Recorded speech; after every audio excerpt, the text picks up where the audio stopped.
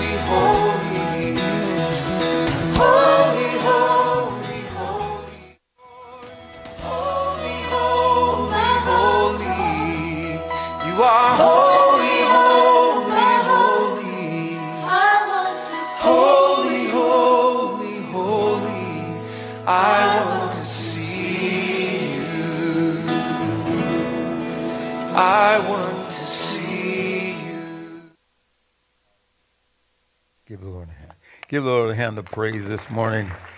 I want to see you. Amen. Amen. Amen. That's a good way to start a service. I want to see Jesus. Amen. I don't really want to see anybody else. Amen. Amen. We're going to take time and we said we were going to have communion every Sunday for the next seven weeks, now six. And so I would like you to get your communion ready. And we're going to believe God. We're going to believe God because he's, He fulfills His promises. And this is what we're going to be talking about today. How He can fulfill His promise and how we can learn that we can trust Him. How many know that you can, you can really trust God? You, you really can. And it's just not a cliche, but we, we really do trust Him. And sometimes we're going to find out today, maybe we don't trust Him as much as we should. And that's when we get in trouble. That's when we look to man. And Kathy and I were just talking about this this morning. That, you know, when we take our eyes off the Lord and put our eyes on man, man falls, we take it out on God. Like he did something wrong. It doesn't make any sense, does it? So, you know, with this communion, again, our theme is that we are, we're going to take the upper hand. In this pandemic, we're going to say, no, enough is enough. And God is, God is powerful. And the Word of God is true. It's sharper than a two edged sword, the Scripture says. So we're going to receive this communion and on behalf of maybe you know someone that's going through a struggle with this virus or whatever. We thank God that those that have had it have come through with very light symptoms and so forth, and uh, we're, we're grateful. So I want you to take your communion, and we're going to pray. I'm going to pray the same prayer that we prayed last week. Thank you, Father, for the gift of your Son. May the stripes that fell on his back, because of those stripes, my body is healed. From the crown of my head to the very soles of my feet, every cell, every organ, every function of my body is healed, restored, and renewed in Jesus' name. I believe it and I receive it. And when Jesus took the bread and he broke it, he gave thanks to the Lord, and Jesus said, Baruch atah Adonai, Eloheinu melech haolam hamotzis lekum mid haaretz. Blessed are you, O Lord our God, ruler of the universe, who brings forth bread from the earth. And it was then that the Messiah added these words This is my body given for you. Do this in remembrance of me. Let us eat together, meditating on the broken body of the Lamb of God who takes away the sin of the world. Let us partake together the body of Christ. Thank you, God.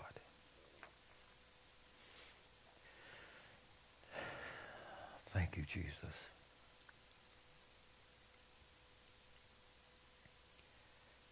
We thank you, Father, that you didn't change your mind that Jesus did not his will, but your will, and went all the way to the cross for us. Not just for the forgiveness of our sin, but for the healing of our bodies. I pray, God, that we will receive that healing. As your word says, we discern the Lord's body today. And when we don't discern it, many are sickened among you and even die. But we discern your body today that you paid the price for our healing. And then he took the cup, which is the cup of redemption. Lord Jesus, we thank you for your precious blood, your sin free, disease free, poverty free life is in your blood. And your blood was removed, has removed every sin from my life. Through your blood, I am forgiven of all my sins, past, present, and future, and made completely righteous. Today, I celebrate and partake of the inheritance of the righteous, which is preservation, healing, wholeness, and pro- provision. Thank you, Lord Jesus, for loving me. And then Jesus took the cup. He said, Surely the arm of the Lord is not too short to save, but it's our own righteousness that falls short. And though the Lord searched, he could find no one to intercede for him, so his own arm worked salvation for him, and his own righteousness sustained him. Jesus, the Messiah, lifted up the cup, saying, This cup is the new covenant in my blood, which is poured out for you. Just as the blood of the Lamb brought salvation in Egypt, so Messiah's atoning death can bring salvation to all who believe. Baruch atah Adonai Eloheinu melech haolam. Bori pri hagafen. Blessed are you, O Lord our God, ruler of the universe, who creates the fruit of the vine. Let us gratefully drink together in the name of our Lord. Thank you, Jesus. Bring healing, God, to those that need healing. Bring strength to those that are weak, God. Bring blessings to those who are looking to you, God, for their blessings. You are the God that healeth us. You are the all sufficient one. Your name, you reveal yourself in your name, Yahweh, the all sufficient one. If you need strength, He's your strength. If you need salvation, He's your Savior. Thank you, Father, for being all sufficient to each one of us today. For whatever our need is, you are here to meet that need. And we receive it now. In Jesus' name. And everyone said, Amen. Amen. Amen. We're going to be looking today at the 12th chapter of, of the Gospel of St. Luke, if you have a Bible. And we're going to uh, we're going to talk about something today that I, I really believe that this is I, I believe that every message that we look into the scriptures is important, but this particular message today, uh, I I've, I've, had to go over it in my own life, and, and I'm the first partaker of of this because you know if it's going to hit me, if it's going to hit you, it's going to hit me first. But I know what the Lord wants to do in our lives. And so I pray that this, this message will, will help us understand how much God wants to be a blessing to you. Amen? Thank you, Father. Thank you for your word today. Let it be what, what you have called it to be, to teach us, to let your Holy Spirit reach out and touch every single one of us, God we all fit into this lesson today. And we can all be overcomers because you overcame. So we give you praise. Help us. Let the anointing of your word come upon us today that we can receive it, God, and plant that seed in our heart and have our lives changed by the power of your Holy Spirit. In Jesus' name I pray. Amen. This past week, I looked up a website called theworrycompany.com. Anybody ever look up theworrycompany.com? It's the world's leading provider of worrying services. The title page reads Forget your worries. Your worrying days are over. Let us worry for you and your friends. Our company is dedicated to lifting the burdens of worries off your shoulders. By becoming a member of the Worry Company, you officially transfer all your worries to our highly trained professionals who will worry for you. Your worries will be declared null and void. They will enter into our computerized book of worries for a period of one year, and we will worry for you. P.S. We only use certified worriers. now, then you go to the next page, and there's a list of gift items that you can purchase. Certificate of membership, twelve ninety five. Coffee mug, seven fifty. Tote bags, twelve ninety five. T-shirts, ten ninety five. Teddy bears, nine ninety five. If you bought all these articles listed, you will have financial difficulties or financial worries. You'd be tempted not to pay the bill and let them, let them worry about it. Okay? Don't you wish it was that easy to get rid of your worries? The next time you worry about your children or your grandchildren, you just email the worry company and you're carefree. The next time you worry about your financial pressures or job stress, just turn it over to theworrycompany.com and relax. When you're waiting for the lab results to come, you just release it to the uh, certified worrier, and you're as cool as a cucumber. Amen? And we smile, we laugh at that because it's ridiculous. We know it's, it- it's a gimmick. But Jesus Christ does want to be the Lord of our anxieties. He invites us to cast all our burdens on Him, and He will carry the load for us. Three times in the scripture in Luke 12, Jesus said, Do not worry. Now, I think most of us would admit we worry. Would anybody like to be honest and say, you know, we do worry. Come on, let's be real here today, all right? Some just occasionally, and for others, it's a career. Worry va- varies from degrees by degrees from mild to chronic. For some, worry is just a little nervousness that takes the edge off the day. For others, it's much more serious, much more serious. Chest pains, dizzy spells, panic attacks, nausea, change of appetite, withdrawal from people, insomnia, daily pills. Now, if you would classify yourself as a chronic worrier, please understand this and understand this truth that it is not wrong to go to a counselor or a doctor. And it is not anti Christian to take prescribed medication. That may be God's way of beginning to help you. And there is good medication that doctors can give. And there is bad medication. And you gotta you gotta be wise and use wisdom. Okay? But Jesus wants us to be free from worry. Our lives are to be characterized by faith, the Bible says, not fear. So I wanted to see three things that, that, I, that, I, that are suggested in this passage in Luke chapter 12 that can help us to make Jesus Christ the Lord of our anxieties and to live sin free or um, free from worry, lives free from worry, okay? So the first thing I see Jesus saying is this. Understand that worry, now this might shock you, understand that worry is a sin and that it can be overcome. You know, someone say, wow, I never knew worry was a sin. When God's word says, do not steal, do not commit adultery, do not bear false witness, do not lie, we know that to violate those commands is a sin. When Jesus says three times, do not worry, to violate that command is a transgression of his law. Now, we may think it's, it's a more respectable sin, but worry is a sin.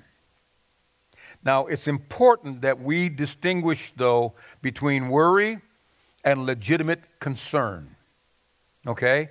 Concern focuses on probable difficulties and produces action.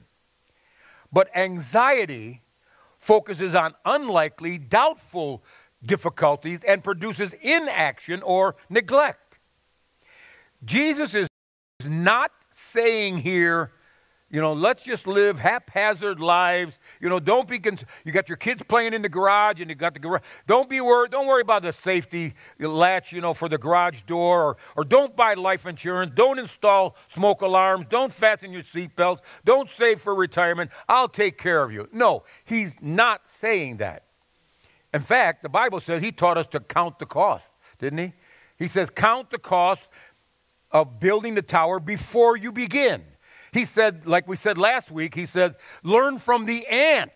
You, uh, what did it say last week? What was the word? You lazy bones, it says in the New Living Translation, calls them lazy bones, who works hard to store up for the winter. And often the best cure for worry is to take action. You're worried about the test, what do you do? You study. You're worried about your finances, you work out a new budget. You're worried about your health, you go to a doctor. You worried about your marriage, you make sacrifices.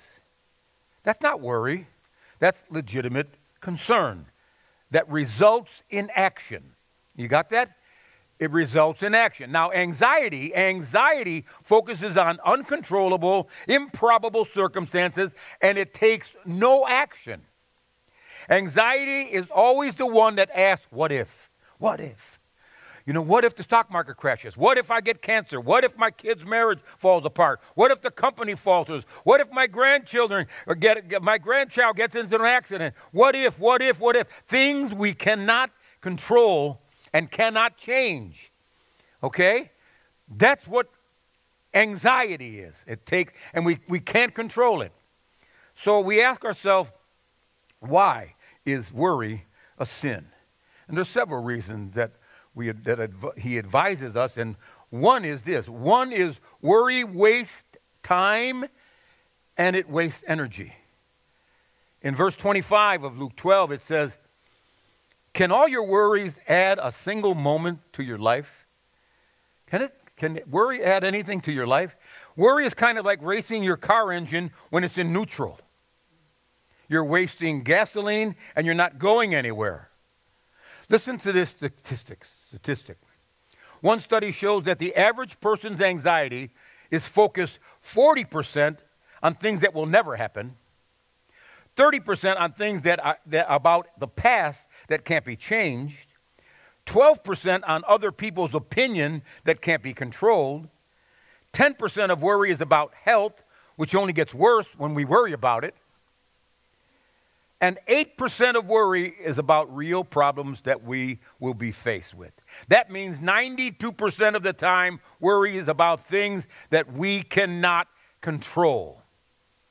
So it's a waste of time. What a, what a waste of time it is. Corrie Ten Boom said, quote, Worry does not empty tomorrow of its sorrow, it empties today of its strength. You worry, and you could have been sleeping. You worry, you could have been enjoying the game. You could have been deepening relationships. Have, haven't you said, Oh, I wish I could go back and relive that day? It was such a wonderful day, but I was so worried about making a mistake. You know, I was so worried about uh, what was coming up that I, I just kind of missed it. Amen? Why is worry a sin? Well, secondly, worry also, it weakens or it impairs our personality. It weakens your personality. I'm going to tell you something, and, and, and I, I hope I hear an amen somewhere. When you're constantly fretting about something, you're not very much fun to live with. Isn't that the truth?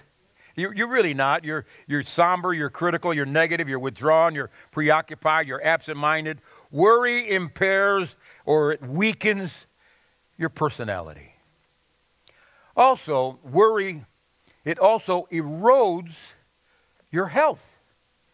It erodes your health. There are all kinds of physical ailments that are stress related. This is a fact ulcers, heart attack, high blood pressure, insomnia. Worry gives you wrinkles, premature aging, maybe even gray hair. Oh, Lord. That's why, huh? I once had black hair. How about this? Worry harms our witness too. It harms our witness. Luke chapter 12, verse 11 and 12, Jesus said, And when you, when you are brought to trial in the synagogues and, and before the rulers and authorities, don't worry about how to defend yourself or what to say, for the Holy Spirit will teach you when? At that time, what needs to be said. If you worry too much about how you're coming across as a witness, you're liable not to say anything at all, or, or you're not to come across well. And he said, Don't worry about that. The Holy Spirit will give you what you need to say when you need to say it. Or if you're anxious about bad things happening to you, it is evidence to the world that you really don't believe what you say you believe. So worry impairs our witness. Are you with me? It impairs our witness. Another thing is, worry often distorts or it twists our judgment and results in wrong behavior too.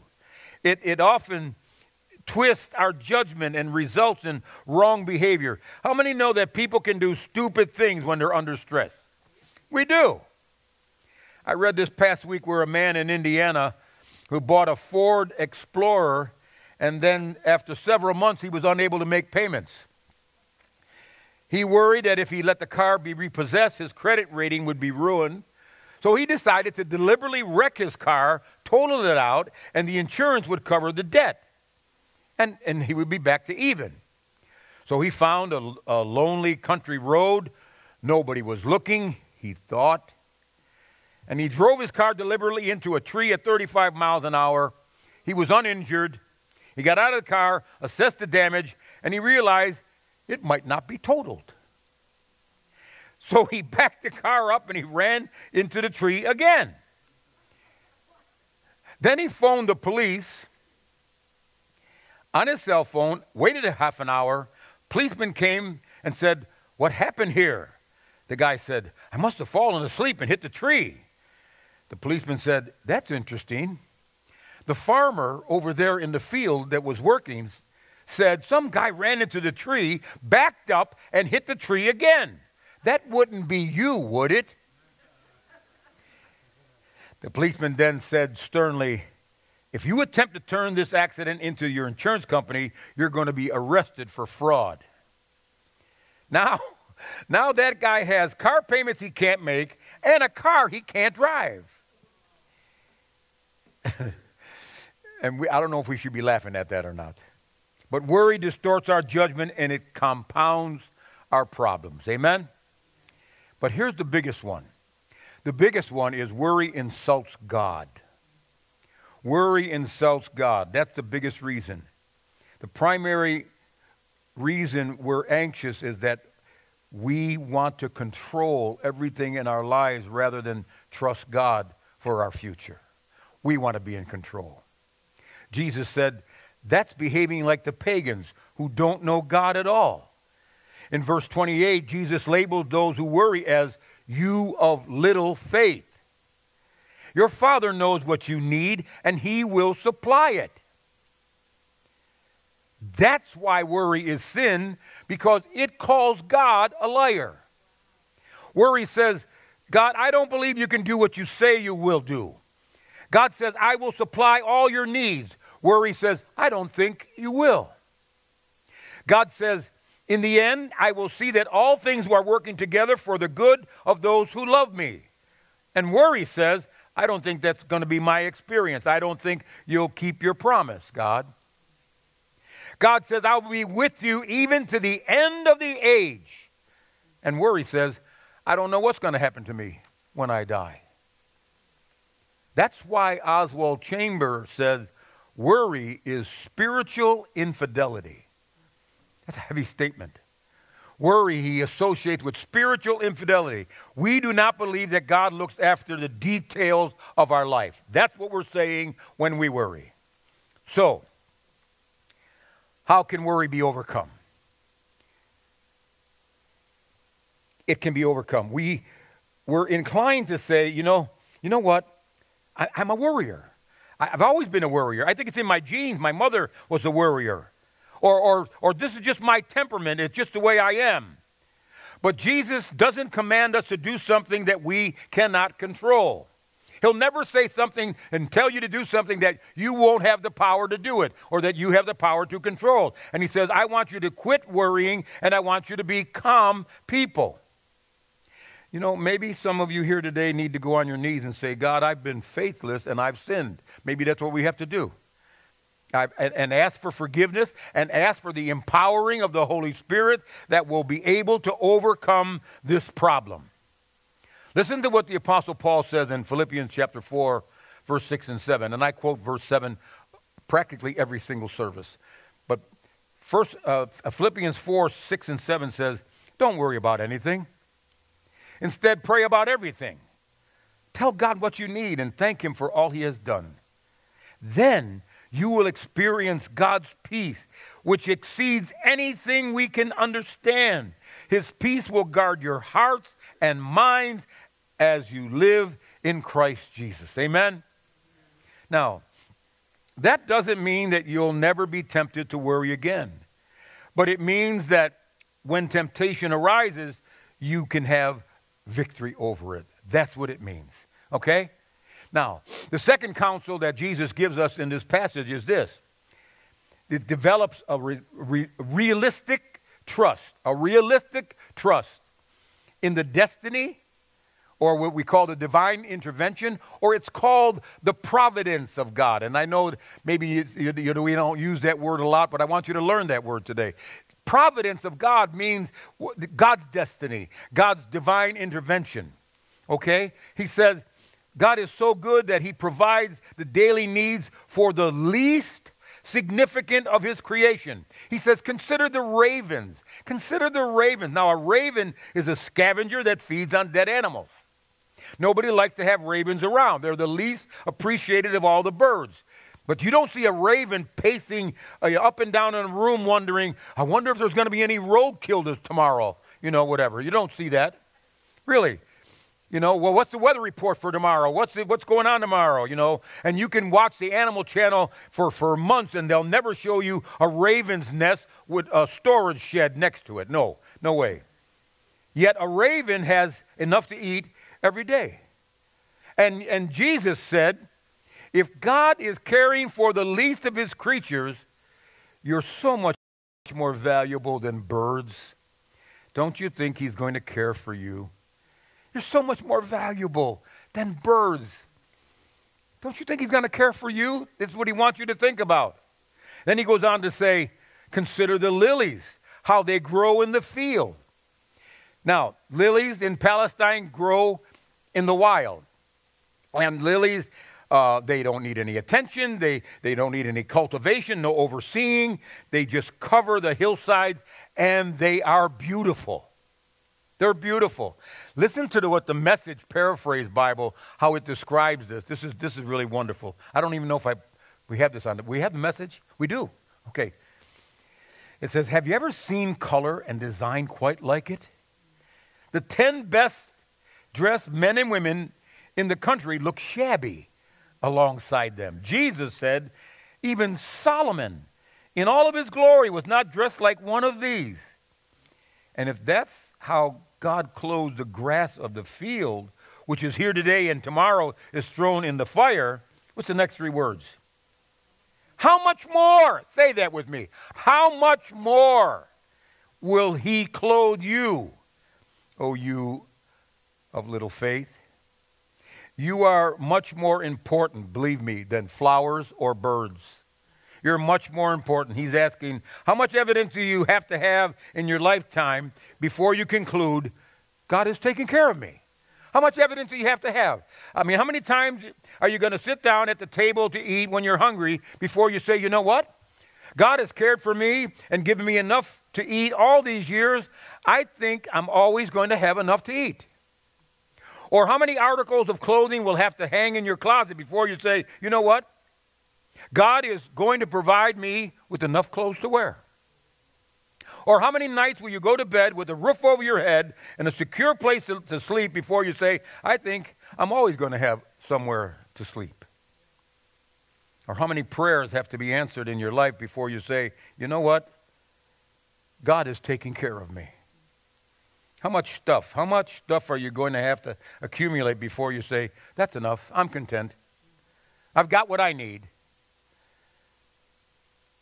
Beautiful song that I love is, and it means something in this message. His, the, the song says, His eye is on the sparrow, right? And I know He watches me. I sing because I'm happy. I sing because I'm free.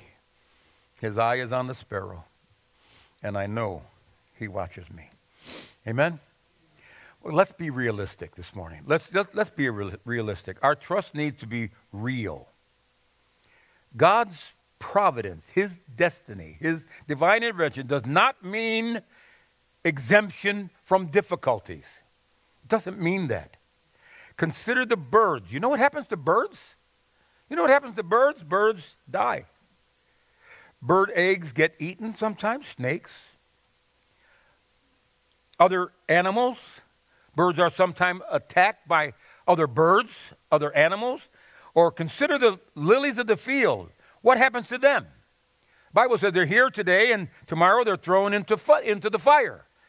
What it's saying is let's, let's face reality. Let's, let's face reality.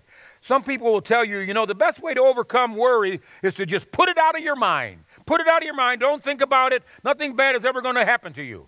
You know what? If that's your approach, your peace is going to be very short lived. Very short lived. The best way to overcome worry is to face the truth. Face the truth. People do die. Couples get divorced. Kids have accidents. Stocks plunge. Companies go bankrupt. Horrible things happen in this world. Be real. Face the truth. The Lord says, I'm not going to exempt you from the difficulties outside, but I'm going to reinforce you from within so that what, whatever happens, you'll be able to stand up under it. And that's why he says, You can do all things through Christ who strengthens you. That's what he's talking about. Now, listen. You see, a young woman who wants to get pregnant knows that there's going to be discomfort and there's going to be pain but she wants the end result. So she will endure the pain. Amen? Amen. The providence of God is not shallow or everything is going to turn out okay. Don't worry. God, no, no, no. God's providence means God is going to reinforce me through whatever comes my way. I can do it through Christ who strengthens me. That's why I love 1 Corinthians chapter 10 and verse 13. Listen to what it says, 1 Corinthians 10 13. The temptations in your life are no different from what others experience. But God is faithful. God is faithful. He will not allow the temptation to be more than you can stand. And when you are tempted, He will show you a way out so that you can endure. You can do it. That's what it's saying. You can do it. Can you say amen? Amen. You see, trusting God's providence doesn't mean a shallow, it's, it, it's, it's not going to let anything bad happen to me. It's saying, whatever happens, whatever happens, even death, He's going to give you me enough strength to get through it when that time comes. That's why the 23rd Psalm is so special. That's why it's so precious. The Lord is my shepherd, I shall not be in want. He makes me lie down in green pastures. And then he says, Even though I walk through the valley of the shadow of death, I will fear no evil. Why? For thou art with me. That's what makes it so special. Amen. The final thing I see him teaching here in this 12th chapter is to keep your daily focus on the spiritual. Keep a spiritual focus every day. Let's, let's, let's go on and see what the rest of Jesus' teaching is, beginning at verse 29 of chapter 12 and following. Listen to this. And don't be concerned about what to eat or what to drink. Don't worry about such things. These things dominate the thoughts of unbelievers all over the world. But your Father already knows your needs. Seek the kingdom of God above all else, and He will give you everything you need. What a beautiful verse. Seek the kingdom of God above all else and He will give you everything you need. The reason we worry is that we've got our focus on this world only. If your primary focus is on financial security, it doesn't matter how much money you have or how much insurance or how many things you accumulate, you're going to worry about them because you cannot totally control them. If your primary focus is on your health, you know what? Doesn't matter how much you exercise or how much oatmeal you eat, you're going to worry about your health. Why? Because you're getting older. Amen?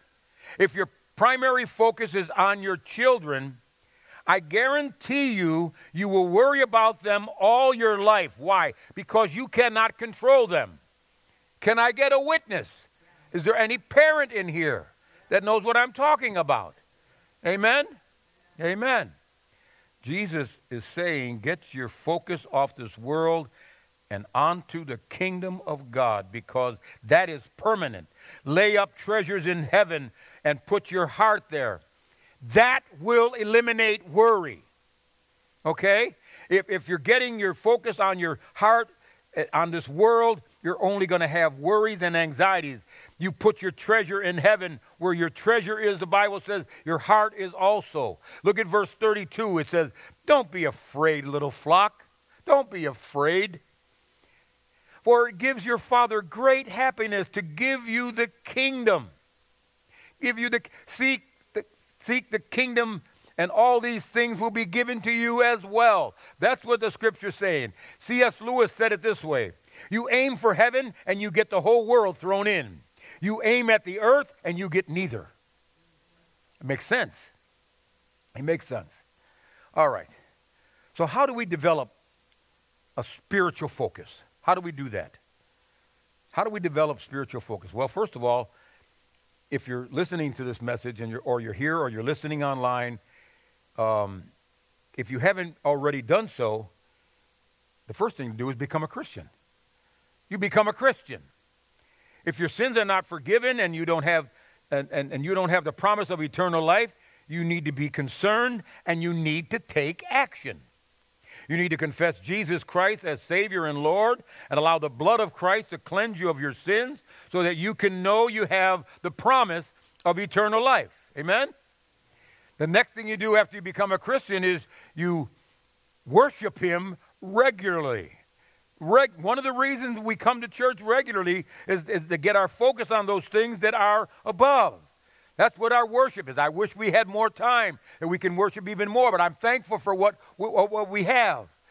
Ruth Graham said this Fear and faith cannot be in the same heart.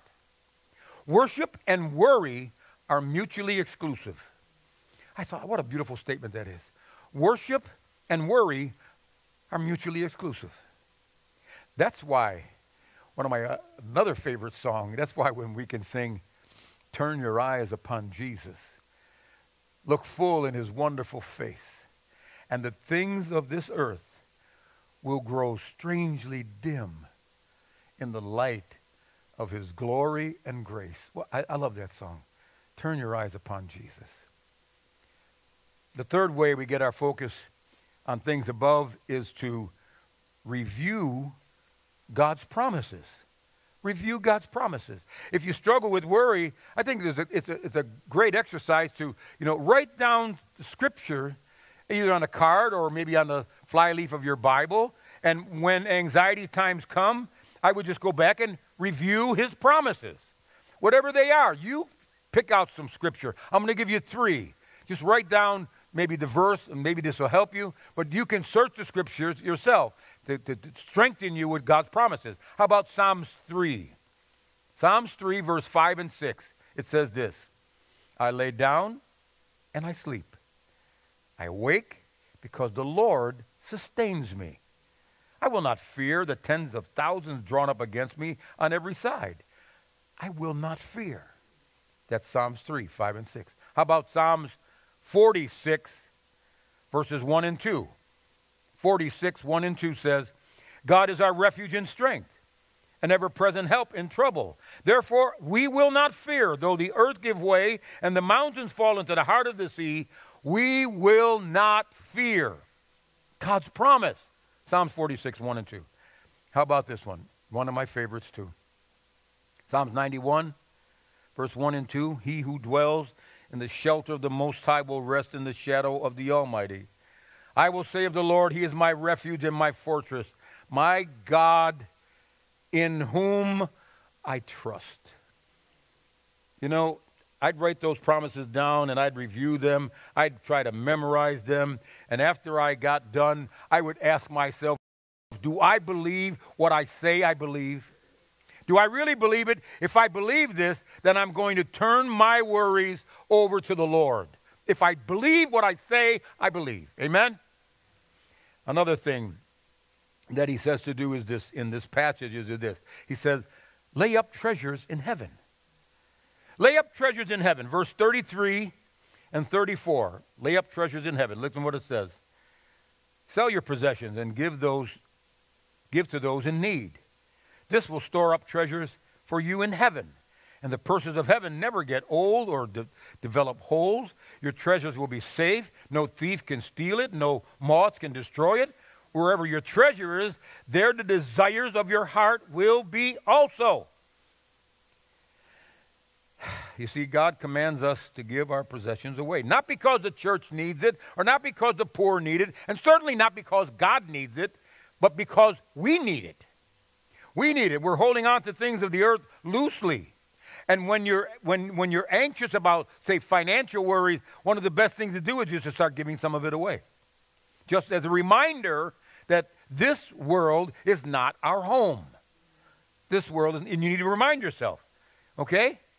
The final thing is learning the art of living one day at a time. Learn the art of living one day at a time. The birds go to sleep every night not knowing what's going to be out there the next day, but God provides for them. The flowers are here today and gone tomorrow. Amen? In fact, in Matthew's Gospel, the sixth chapter, Jesus said, Don't worry about tomorrow. Tomorrow will worry about itself. Each day has enough trouble of its own. I like this expression someone said Yesterday is history, tomorrow is a mystery, today is a gift from God. That's why it's called the present. I like that. I think it's true. And, folks, you know what? We are spoiled. We're spoiled. We think in our mind that life is supposed to be worry free, no pressure. And if you're waiting for those times in life, you will have, when you will have no stress, no pressure, you're going to waste about 98% of your life. Okay? The key to living the victorious, abundant life that Christ wants us to live in is to say with the psalmist, This is the day that the Lord has made, and I will rejoice and be glad in it. I can't change yesterday. I don't know what's going to happen tomorrow, but God is, per- is permitting me to be alive today. And even though I've got some pressures, I'm going to live it to the fullest. Amen? And when you repent of worry and turn your burdens over to the Lord, trust Him for the future, and you're really focused on spiritual things, you will find out that He is the one who is certified to carry your burdens for you. Amen? Give the Lord a hand of praise because He's the one that's certified. Let's all stand together in Jesus' name.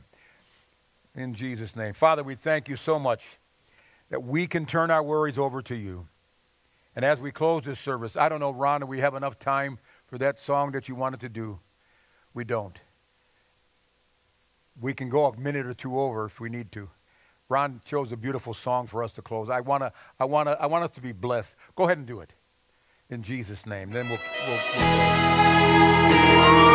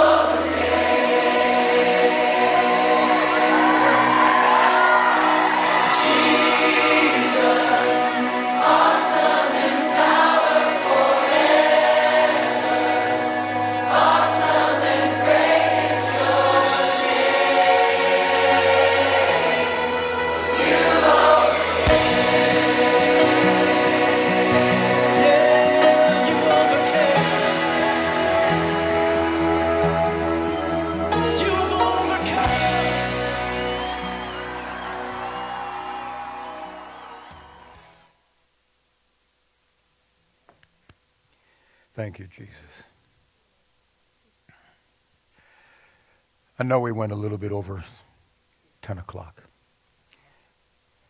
So that means we have to leave a little bit, make room for the 10. But I don't care because we needed to hear that. We needed to hear that in our hearts today. He overcame. We can overcome by the blood of the Lamb and the word of our testimony. We can overcome worry, anxiety. We can do all things through Christ. He strengthens us. No matter what you're going through today, He will strengthen you. Amen. The Lord bless you and keep you. The Lord make his face shine upon you and be gracious unto you. The Lord lift up his countenance upon you, give you hope. Hope because of the resurrection of Jesus Christ our Lord. Give you joy that's unspeakable and full of glory. He will give you peace, a shalom peace that passes human understanding. We can be at peace even in the midst of pandemics and what the world is craziness is going through. God, thank you for the peace that will guard our hearts and guard our minds as we live in Christ Jesus our Lord. We thank you for today. Bless your people now as we leave. In Jesus' name. And everyone said amen. amen. Your mask on, turn to someone. Tell them it was good to be in the house the Lord today. God bless you.